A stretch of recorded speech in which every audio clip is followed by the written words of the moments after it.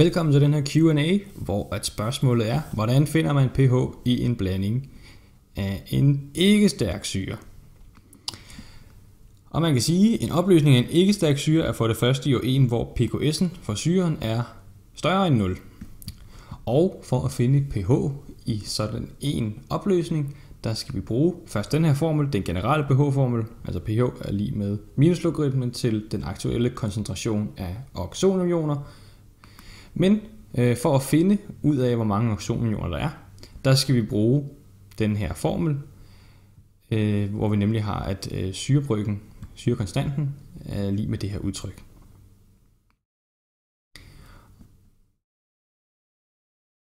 Godt, så hvis vi tager et eksempel, så kan vi sige, prøv at udregne pH i en 0,100 molær opløsning af hydrogenfluorid, HF. Så det første vi gør, det er at tjekke syrestyrken. HF har en pKs på 3,17. Det vil sige, at hydrogenfluorid er altså en ikke stærk syre. Fint nok, så vi bruger den her metode, jeg lige har fortalt om. Og som sagt, så skal vi først regne ud, hvad den aktuelle koncentration af oxonioner er. Og det vil vi bruge den her formel til.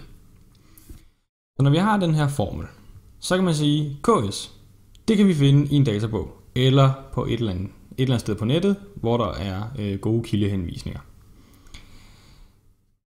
CS, den fik vi faktisk at vide i opgaven. For CS, det var, at vi havde en 0,01 molær opløsning, og KS har altså slået op her til at være 6,76 gange 10 minus 4.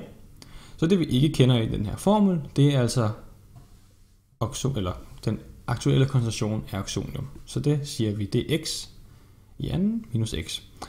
Så skal man løse den her ligning. Øh, det kan man gøre inde på en grafregner, eller man kan bruge et øh, fint website, der hedder Wolfram Alpha, eller whatever floats your boat. Man skal i hvert fald have fundet ud af, hvad løsningerne er, og dem finder jeg til at være disse to tal. Og det vil altid, fordi det her jo er et andengrads, en andengradslinje, der vil man få to løsninger. Det er selvfølgelig ikke særlig øh, godt, men man kan se med det samme, at man vil altid få, at den ene løsning er totalt ubrugelig. Man kan sige, her har vi et negativt tal, og det er jo fint nok, hvis man er matematiker, men hvis man er kemiker, så giver det ikke nogen mening at have en negativ koncentration af et eller andet. Så den kan vi se fuldstændig bort fra, den duer ikke, og så har vi altså kun det her ene tal tilbage. Så det må være x, så det vil altså være, at vores aktuelle koncentration af oxonium, det må være 0,00789 molar. Udmærket. Så skal vi bare udregne pH, og der bruger vi vores pH-formel, for nu har vi jo fundet ud af, hvad den aktuelle koncentration af oxonium er. Det var jo den her.